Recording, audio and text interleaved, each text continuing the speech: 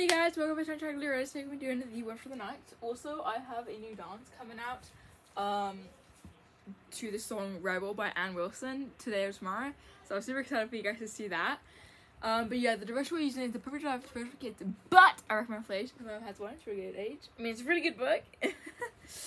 and it is by Rick Warren and 300 chapter versions. So yeah, that's what it looks like. So yeah. We're day 289.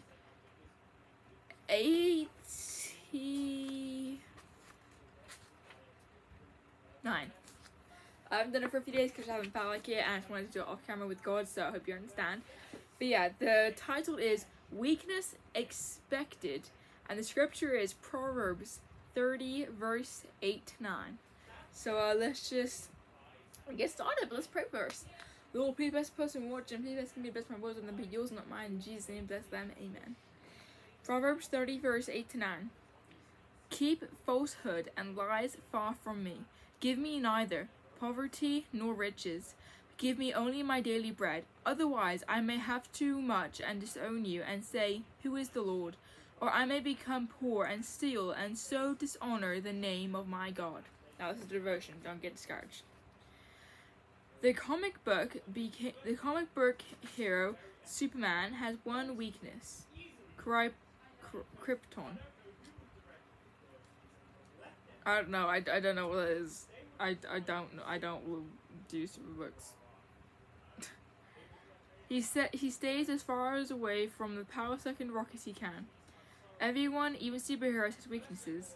The writer of Proverbs knew his weakness was money. If he had too much or too little, it would get in the way of following God's ways.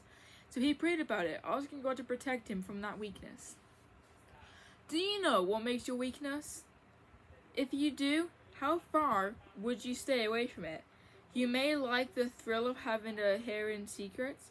You may have a really strong desire to make lots of money one day and hoard your allowance. You may like bending the truth to get your way or persuade others to follow your ideas.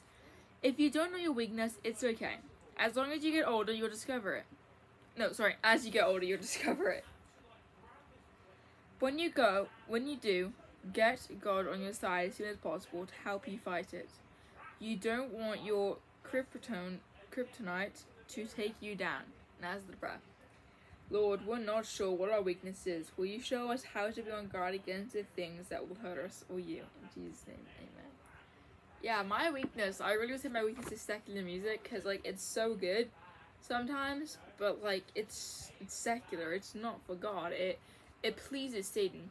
If it's not God, it's Satan. There's no in between. It's God, Satan, no in between. Mm-mm, no way, Jose. So, you listen to music that glorifies God, you listen to music that glorifies Satan. Just saying. I hope you guys enjoyed that. You so much. Be blessed.